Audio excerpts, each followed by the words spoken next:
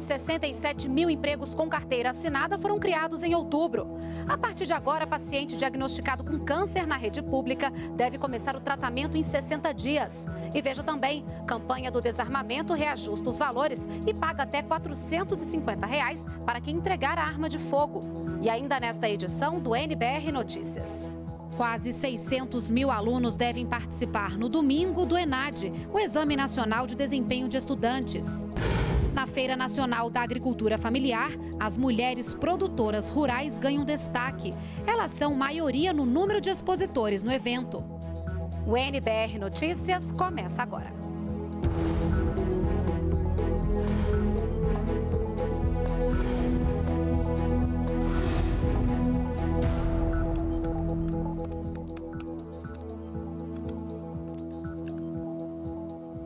Olá, boa noite.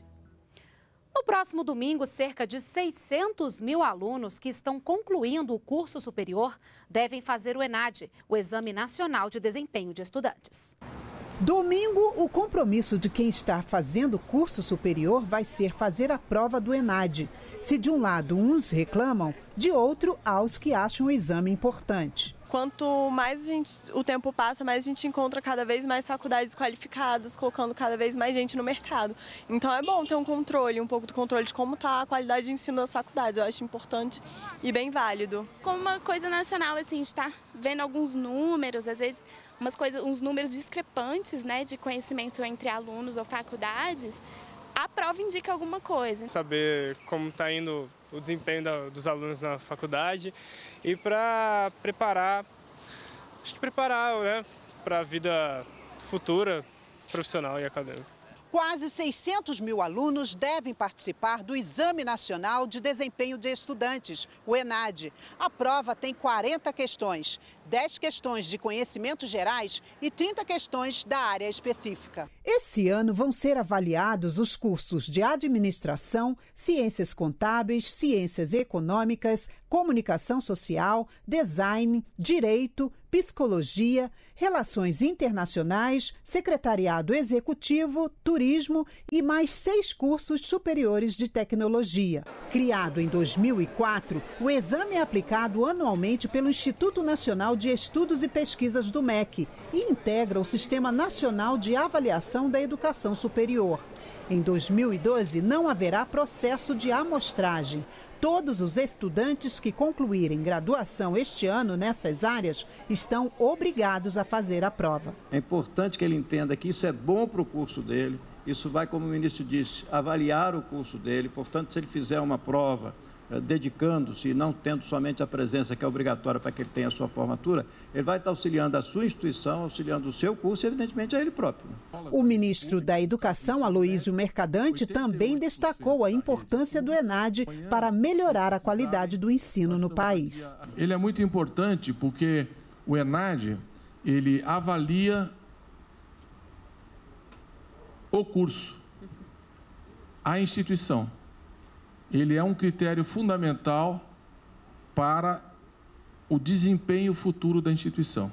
Por exemplo, se a instituição vai ter direito ou não ao ProUni ou ao FIES, depende do resultado do ENAD, é um dos indicadores relevantes. Até 1 de dezembro, quem quiser fazer testes rápidos gratuitos para HIV, sífilis e hepatites B e C pode procurar um posto de saúde. É a campanha Fique Sabendo. Com apenas uma gota de sangue, é possível saber o resultado em 30 minutos. Os postos de saúde participantes da campanha Fique Sabendo estão prontos para atender todos que quiserem fazer o teste rápido. Foram enviados aos estados 380 mil kits rápidos de HIV, 180 mil de sífilis, 93 mil para hepatite B e outros 93 mil para hepatite C. Os testes têm 99% de eficácia. A gente acredita que todo paciente que tem uma vida sexual ativa, que tem contatos sexuais, já teve, ou então mesmo que já tenha tido um contato sexual na vida, ou se exposto ao sangue, algum tipo de, eh, de forma de transmissão do HIV, que ele faça durante o check-up completo que ele faz todo ano, que inclua também o exame de HIV, de hepatite B, C e de sífilis. Né? Porque são doenças que podem ser são silenciosas. E se você não fizer o diagnóstico precoce, isso passa e quando aparecerem os sintomas, já está numa fase muito evoluída da doença. Além dos testes, a campanha também está focada na prevenção às doenças sexualmente transmissíveis. Hoje em dia, é, o preservativo ele tem que fazer parte do kit de higiene do ser humano, como, como uma escova de dente, um fio dental. Cada um tem que sair com o seu preservativo, né? Na carteira, no, no bolso. Então, é, é, importante isso porque toda relação sexual que você tem, que vo, é, você não sabe do passado do seu parceiro. Né? Às vezes é uma pessoa que você conhece, que você confia, mas você, nem a, a própria pessoa sabe do seu, da sua condição sorológica.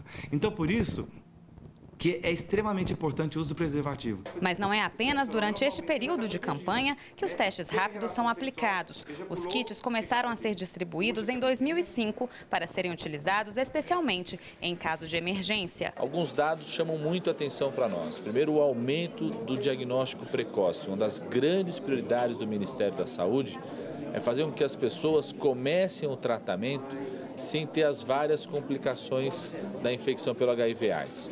Então nós saímos de 32% para 37% das pessoas que começam precocemente o tratamento pelo HIV no nosso país.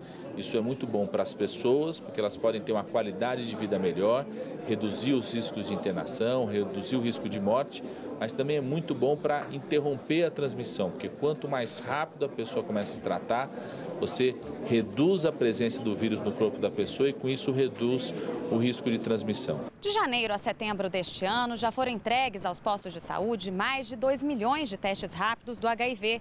A expectativa do Ministério da Saúde é de fechar o ano com quase 3 milhões de kits distribuídos. É, e a partir de agora, os pacientes diagnosticados com câncer no Sistema Único de Saúde devem começar o tratamento em no máximo 60 dias. A lei que impõe o prazo foi sancionada hoje pela presidenta Dilma Rousseff e entra em vigor em 180 dias. Especialistas em aquicultura e pesca do Brasil e da Noruega participaram esta semana de um seminário para trocar experiências na área. O encontro terminou hoje e a repórter Ana Gabriela Salles tem as informações. Ana Gabriela, boa noite. Boa noite, Renata. É isso mesmo, os especialistas do Brasil e da Noruega, que já é parceira do país, é, aproveitaram esse encontro para definir novas ações para a produção sustentável de pescados. Eu converso agora com Rodrigo Roubach, que é coordenador geral de aquicultura marinha e participou do encontro. Boa noite, coordenador. Bom, que ações estão previstas? O que foi definido nesse encontro para aumentar a parceria entre Brasil e Noruega? É, boa noite. Uh, basicamente, esse encontro com o nosso parceiro no, da Noruega uh, já é uma, são ações que estão sendo desenvolvidas já algum tempo e isso foi um resultado dessa parceria para nós definirmos novas ações, futuras ações para 2013 2013 2014. A Noruega é um importante parceiro por conta da sua produção aquícola, a experiência que os mesmos têm na aquicultura, mais de 50 anos de experiência, então é importante para trazer essa experiência para o Brasil. Então, é um país que tem muito a contribuir né, com o Brasil e que, que, qual o cronograma previsto daqui para frente?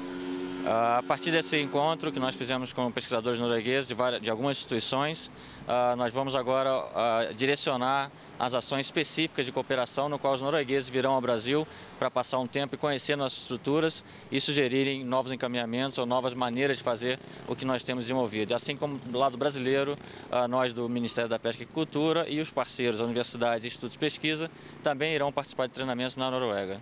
E o que está previsto, por exemplo, para melhorar? Que benefícios para o aquicultor familiar, por exemplo? Quais os benefícios dessa aquicultura sustentável? Bem, nesse sentido, o Ministério, como ordenador das ações para aquicultura marinha e continental, no qual nós centralizamos o processo de cessão de águas da União, vamos ter mais condições, melhores condições para aprimorarmos o processo dessa cessão dessas águas e com isso acelerar esse processo de cessão para botar os pequenos e médios produtores em condições de produzirem mais pescado para o Brasil. Isso traz benefícios também para o meio ambiente, né? Com certeza. A ideia justamente é termos um meio ambiente sustentável, fazer essas ações com sustentabilidade para termos condições de avançar na produção brasileira sem afetar o meio ambiente de maneira uh, muito alta nesse, nesse caso. Obrigada pela entrevista ao vivo. Voltamos com você, Renata. Obrigada pelas informações, Ana Gabriela. E projetos para evitar o desperdício de recursos naturais nos locais de trabalho podem trazer economia para os cofres públicos e também para o meio ambiente. Por isso, ações como a gestão racional de resíduos e a reutilização de materiais receberam prêmios esta semana. Contratos mais curtos e contra-cheques em versão digital para os funcionários. Ao lado da impressora cada vez menos utilizada, um cesto de reciclagem. Essas pequenas medidas resultaram em grandes números para a Caixa. Em 2011, o banco economizou 43 milhões de folhas de papel e, com isso, 8.500 árvores deixaram de ser derrubadas mais do que 5,4 bilhões de economia que foram registradas pelos projetos, nós temos o aculturamento, o que a gente pode dizer que é o DNA da empresa. Hoje faz parte do DNA da empresa a preocupação com a luz elétrica, com o gasto de energia, com o gasto de água, com o gasto de papel, com o gasto de toner, enfim, permeia a organização essa preocupação com o uso sustentável, o uso racional dos resíduos. A experiência da Caixa foi um dos 12 projetos vencedores do quarto prêmio A3P, uma ação do programa Melhores Práticas da Agenda Ambiental na Administração Pública do Ministério do Meio Ambiente. O programa foi criado para incentivar práticas sustentáveis na administração pública de municípios, estados e da União. A ideia é que as instituições adotem medidas como a coleta seletiva solidária e programas de economia de energia. O governo tem que dar o exemplo. A primeira coisa para convencer uma sociedade de que ela deve mudar hábitos e comportamento é o próprio governo mudar o seu. Então, eu acho que nós estamos é, promovendo o desenvolvimento sustentável por meio do exemplo. E a empresa Brasil de Comunicação, a EBC, foi premiada na categoria Gestão de Resíduos pelo programa de reciclagem da empresa. O Brasil criou em outubro quase 67 mil empregos com carteira assinada, um aumento de 0,17% em relação ao mês anterior. Os dados foram divulgados hoje pelo Cadastro Geral de Empregados e Desempregados, o CAGED. Três setores apresentaram expansão do emprego em outubro: comércio, serviços e indústria de transformação. No ano, o CAGED acumula quase 1 milhão e 600 mil postos de trabalho.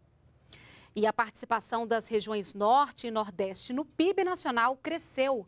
Juntas, as duas regiões historicamente mais pobres do Brasil respondem por 19% da soma de todos os bens e serviços do país. Os dados são de uma pesquisa divulgada hoje pelo IBGE. De 2002 a 2010, a parcela da região norte no PIB passou de 4,7% para 5,3%, e a contribuição do Nordeste subiu de 13% para 13,5%. De acordo com o IBGE, a melhora do resultado da região norte é reflexo do aumento dos preços internacionais do minério de ferro, exportado pelo Pará, além do aquecimento da indústria do Amazonas e da agropecuária em Rondônia. Na região Nordeste, o Maranhão foi quem mais influenciou o resultado, por ter se tornado um grande produtor de soja. A participação do Centro-Oeste no PIB nacional também cresceu e está relacionada ao agronegócio e aos altos salários em Brasília. A fatia do Sul e Sudeste diminuiu, mas a pesquisa mostra que os estados do Sudeste ainda concentram mais da metade das riquezas do Brasil. Oito estados respondem por 77% das riquezas nacionais. Na próxima segunda-feira, o INSS inicia o pagamento da segunda parcela do 13º salário, junto com o pagamento da folha de novembro. O valor transferido pela Previdência Social corresponde a quase 12 bilhões de reais no pagamento de mais de 25 mil benefícios. O calendário de pagamentos do INSS começa com os depósitos dos segurados que recebem até um salário mínimo e possuem cartão com final 1. Para quem recebe acima do mínimo, o crédito começa a ser liberado a partir do dia 3 de dezembro, mesma data de pagamento para quem tem cartão com final 1 e 6. O calendário segue até 7 de dezembro e todos os detalhes estão no site da Previdência. E uma correção: a partir de segunda-feira, o valor transferido pela Previdência Social corresponde a 12 bilhões de reais no pagamento de mais de 25 milhões de benefícios e não 25 mil benefícios, como eu havia falado anteriormente. E a partir desta sexta-feira, quem aderir A campanha nacional do desarmamento vai receber novos valores de indenização. Agora, quem entregar a arma de fogo para destruição receberá de 150 a 450 reais, de acordo com o tipo e calibre do armamento. Antes, os valores variavam de 100 a 300 reais. Desde janeiro, 62 mil armas foram entregues no país. São Paulo lidera com 17 mil armas. Para o Ministério da Justiça, duas razões incentivam o desarmamento: o anonimato e a indenização, que é paga em 24 horas. As mulheres produtoras rurais são destaque na Feira Nacional da Agricultura Familiar e Reforma Agrária. Representam 53% dos 650 expositores no evento. E hoje, no segundo dia de debates, elas foram tema do Diálogos Brasil Rural. A reportagem é de Daniela Almeida.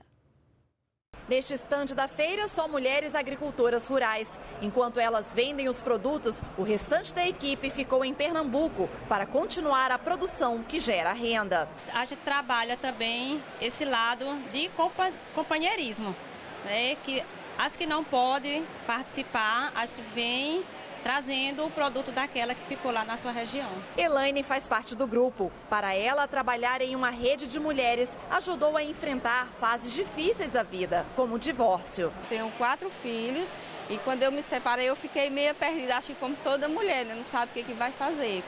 E aí eu me dediquei ao meu trabalho, que é trabalhar com tecido, com costura. E algumas mulheres dizem assim, não dá para você sobreviver de artesanato.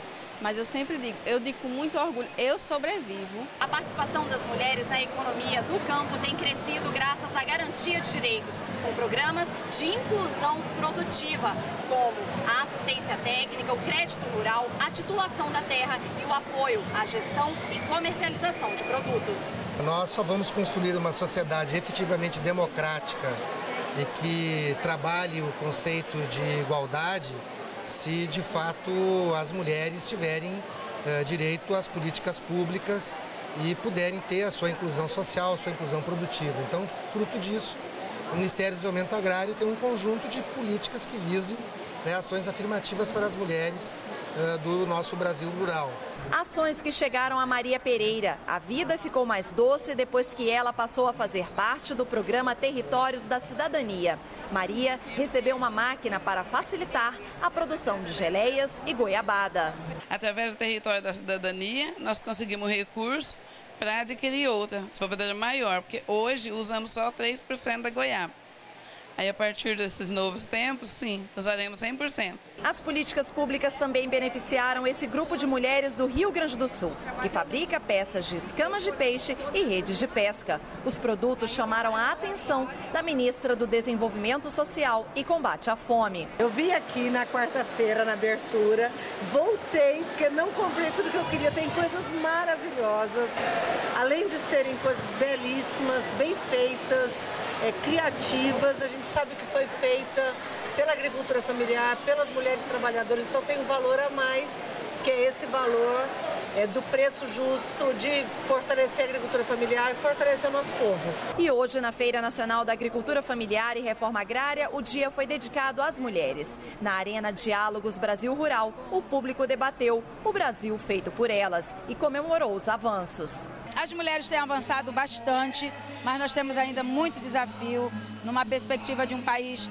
que é capitalista, que é patriarcal, e que nesse ambiente a gente tem forçado muitas conquistas e dialogado muito sobre elas. E como incentivar o consumo de alimentos produzidos pela agricultura familiar? O assunto foi discutido hoje na maior feira nacional da agricultura familiar e reforma agrária. A repórter Daniela Almeida, que acompanha a feira, traz ao vivo do Rio de Janeiro os detalhes para a gente. Daniela, boa noite. Boa noite, Renata. Os debates, os debates dessa tarde apontaram que, por parte do consumidor, seria necessária uma mudança de hábitos. Por exemplo, os consumidores poderiam exigir de supermercados e feiras que houvesse a disponibilidade de mais alimentos sustentáveis. Os consumidores também poderiam mudar hábitos, como consumismo exagerado, o desperdício e também saber a origem das mercadorias, o processo produtivo, por exemplo, para saber se não usam mão de, mão de obra escrava. Para saber quais são as políticas públicas também para esse setor, nós conversamos agora com Arnoldo de Campos, que é o coordenador geral da feira. O governo federal vai incentivar a assistência técnica para a sustentabilidade nos campos? Essa é a ideia. A presidenta Dilma lançou uma política de estímulo à produção agroecológica e orgânica e está colocando entre os instrumentos de desenvolvimento desses sistemas assistência técnica. Assistência técnica que pode levar os produtores, contribuir para que eles possam adotar tecnologias mais sustentáveis e nós estamos investindo para que ele tenha um melhor manejo da água, dos solos e dos insumos, sobretudo os agrotóxicos, para que a gente tenha alimentos com mais qualidade e mais saúde para o consumidor e mais saúde também para o produtor, que vai poder manejar de forma mais adequada os seus instrumentos de trabalho e os insumos que ele está utilizando. E como facilitar a certificação de orgânicos? A legislação brasileira é bastante inovadora no processo de garantia da conformidade orgânica. Existem métodos que são de certificação tradicional, de certificação participativa e de garantia da conformidade quando a comercialização é direta. A feira, a venda para alimentação escolar já tem processos mais simples. O que precisa ser levado é a capacitação aos produtores e o apoio da assistência técnica para que essa legislação, que é muito recente, possa ser implantada e a gente consiga aumentar a área cultivada e o número de produtores, por consequência também a produção orgânica no país.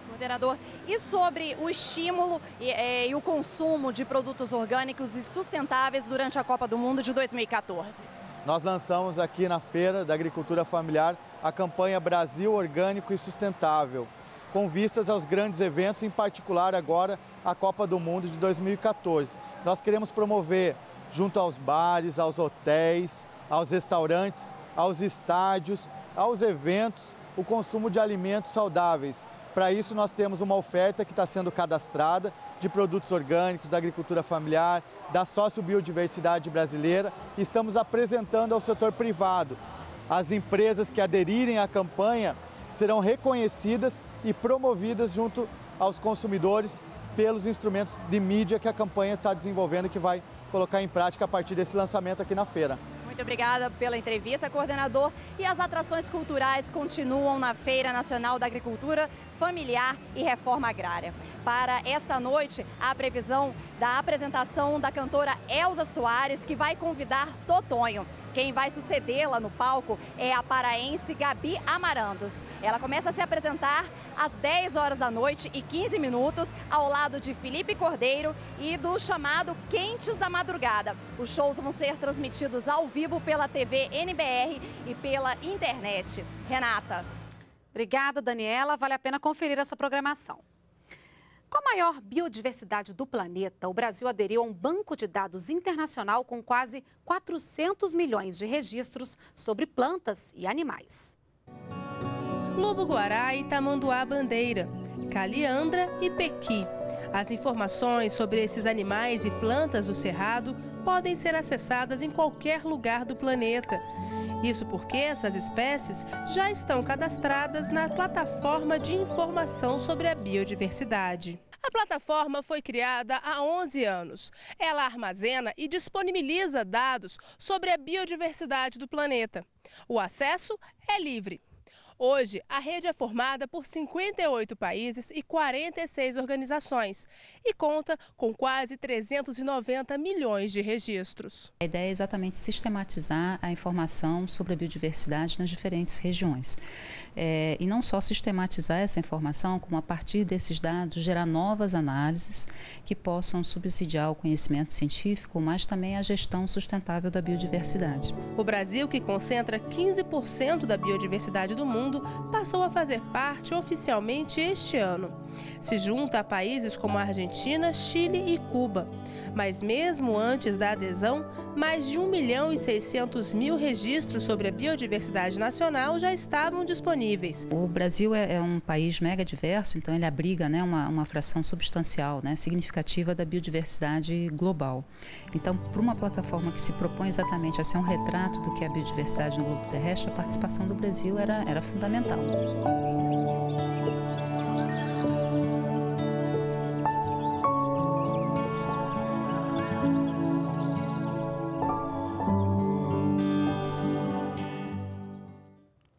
Para conhecer a página da Plataforma Global de Informação sobre a Biodiversidade na internet, basta acessar este endereço que aparece na tela. E hoje, durante encontro com o ministro da Defesa Celso Amorim, a presidenta Dilma Rousseff assinou a promoção da primeira mulher a oficial general das Forças Armadas. Dalva Maria Carvalho Mendes, agora contra-almirante, ingressou na Marinha do Brasil na primeira turma do Corpo Auxiliar Feminino de Oficiais em 1981. Antes da promoção, a oficial médica desempenhava o cargo de diretora da Policlínica Naval Nossa Senhora da Glória, no Rio de Janeiro. A Marinha foi a primeira força armada a admitir mulheres mulheres a partir de 1980. A data de cerimônia de condecoração ainda não foi divulgada pela Presidência da República. Esta edição do NBR Notícias fica por aqui. Outras informações a qualquer momento em nossa programação. Para você, uma boa noite e um ótimo fim de semana. Continue com a gente na NBR, a TV do Governo Federal.